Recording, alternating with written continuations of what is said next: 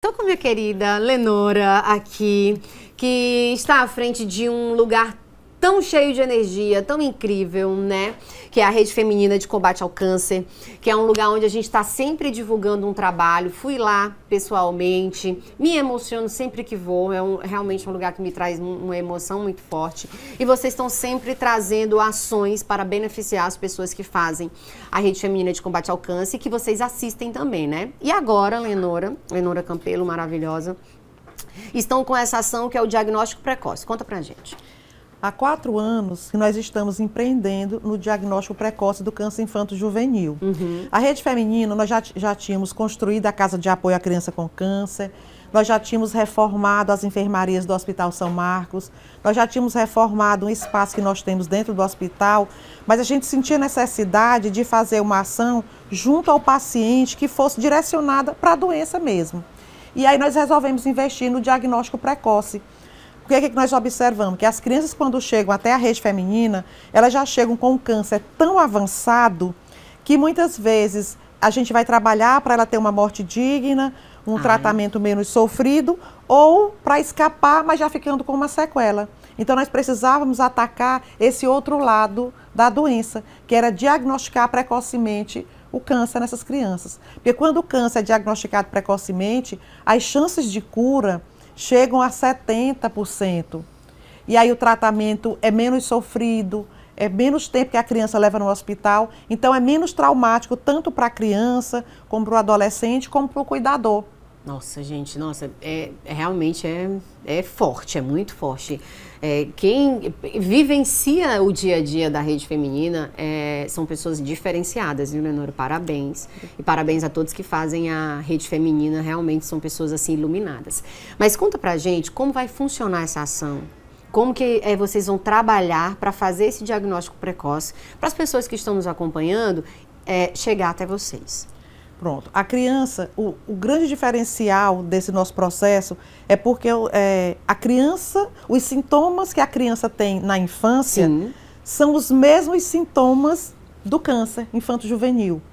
É uma mancha roxa, é um sangramento na gengiva, é uma garganta inflamada. Então, tudo isso pode ser o sintoma de uma gripe, de uma que garganta. Que se confunde com qualquer outra patologia. Que se confunde como, como né? os sintomas de uma leucemia. Entendi. Então, daí a, a, o nosso cuidado é chamar atenção para isso. Então, para o pessoal da saúde básica da família, para o dentista, uhum. para o fisioterapeuta, para aquele médico que atende primeira criança, para a professora na sala de aula, porque os sintomas aparecem. Então, muitas vezes, o que, é, o que acontece é um retardo nesse diagnóstico porque vai tratando como se fosse uma gripe, como se fosse uma garganta inflamada, e aí quando o médico vai chamar a atenção que pode ser um câncer, o câncer já está instalado na criança. E aí, muitas vezes, já é tardio. Já vai ser um tratamento muito mais longo, um tratamento muito mais sofrido, muito mais dolorido. Então, o objetivo do nosso projeto Diagnóstico Precoce é chamar a atenção para essas pessoas que primeiro têm contato com a criança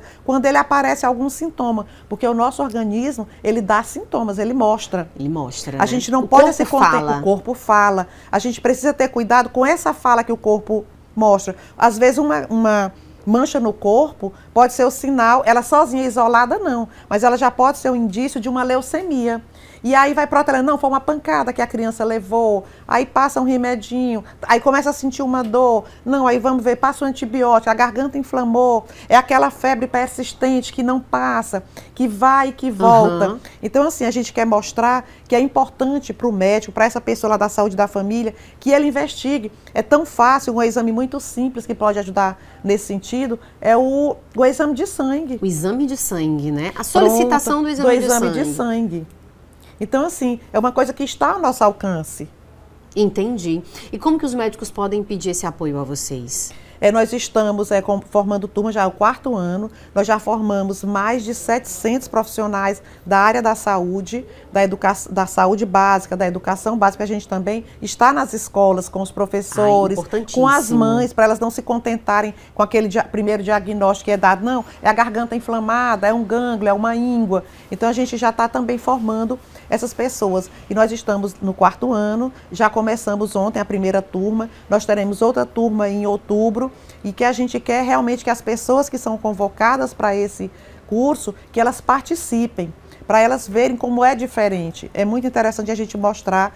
Nós estamos muito atrasados em relação às regiões do sul, em termos de, de diagnosticar precocemente. Então a gente precisa investir nesse diagnóstico precoce para que as chances de cura sejam muito maiores e nós tenhamos muito mais sucesso no tratamento do câncer. Até porque o nosso tratamento aqui do Piauí, da nossa região, ele é igual, nós não estamos é, atrás dos, das regiões do sul, não. Nós estamos tem, em pé é, de igualdade. Temos um o, polo de saúde exatamente. muito eficaz, né? O que está faltando é esse câncer chegar cedinho na nossa mão para que a gente possa cuidar. E as pessoas que moram no interior, que têm uma maior dificuldade, né, também de ter acesso à saúde e de chegar a um profissional que possa trazer precocemente esse diagnóstico, né? Qual seria a indicação, é, Lenora? Nós já estivemos em Parnaíba no o ano passado, se não me falha a memória. Uhum. Trabalhamos lá com o pessoal da saúde da família. Aí é onde entra o papel da família. Ah, olha só. É a mãe não se contentar com aquele diagnóstico, uhum. aquele, aquele, só aquele antibiótico, que a febre vai e que volta, uhum. que aí o médico passa um outro diagnóstico, um, um outro remédio mais forte, Sim. um corticoide. É a mãe se, se inquietar. É a mãe dizer, doutor, vamos fazer esse exame aqui, não custa nada, é seu filho.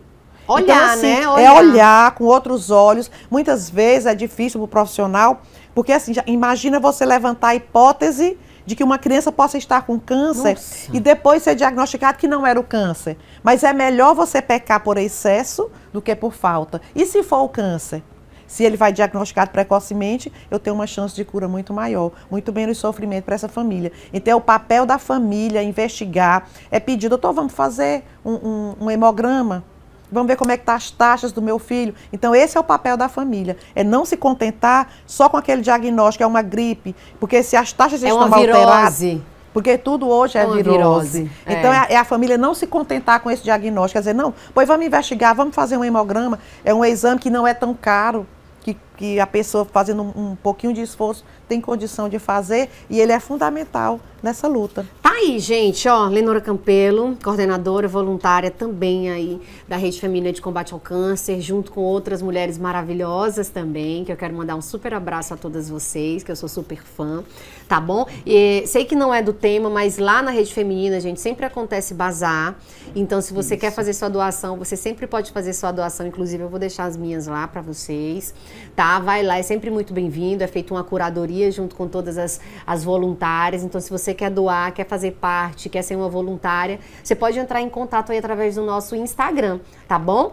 Fica o Instagram é, da Rede Feminina, Rede Feminina PI, né? PI, é, Rede Feminina PI. Aí tá aí, Rede Feminina PI, é, que você pode entrar em contato, quer fazer parte, quer ser uma voluntária, quer fazer doação, é sempre muito bem-vinda, né? Muito bem-vinda. Eu já posso até antecipar, o nosso bazar desse ah, ano vai acontecer agora no início de novembro, 5, 6 e 7. Uhum. E nós já estamos recebendo as doações. Pronto. Passa lá na Avenida São Raimundo, número 1000, deixa a sua doação, é bijuteria, é calçado. Pode ser o que quiser, O que quiser, né? uma, uma coisa que você, você pode abrir mão daquilo ali que está em bom estado e passa lá e deixa pra gente gente. Já vou deixar a minha lá, tá Pronto. tá bom? Lenora, Exato. muito obrigada por você estar aqui hoje trazendo essa informação e estendendo carinho e cuidado a todos os nossos telespectadores. Nós é que agradecemos a vocês, a esse canal de TV que é tão maravilhoso, que está aqui sempre divulgando as nossas ações. A gente precisa estar se mostrando para que a gente consiga manter os nossos projetos. E você é uma pessoa especial que já mora no nosso coração, que a gente sabe que pode contar com você sempre. Sempre. Já é uma porta que está sempre aberta para a gente. Sempre mesmo, sempre Muito mesmo. obrigada. Obrigada, mesmo. um excelente obrigada dia. Você, um abraço a todas as meninas lá, todas as obrigada. amigas.